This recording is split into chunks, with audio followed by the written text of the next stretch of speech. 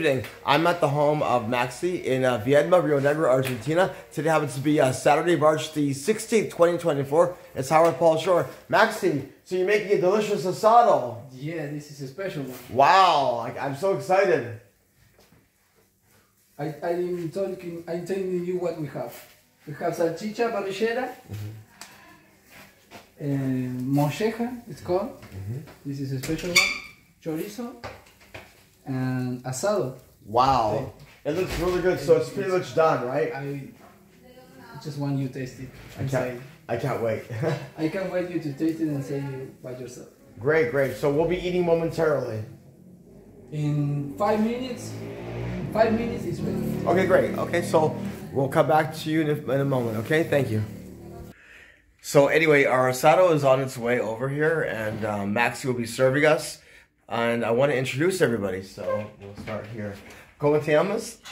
Marta. Marta, mucho gusto. Your asado will be delicioso, I think. Hi, ¿cómo te llamas? Gabriel. Gabriel, mucho gusto. Mucho gusto. Asado, whoa. Wow. Yeah. Mucho tiempo for asado.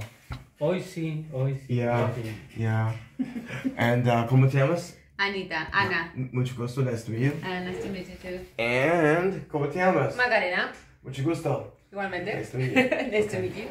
All right, so that's everybody for right now. Thank you so much, and uh, I'll be back in a moment. So Max, you just brought some asado here.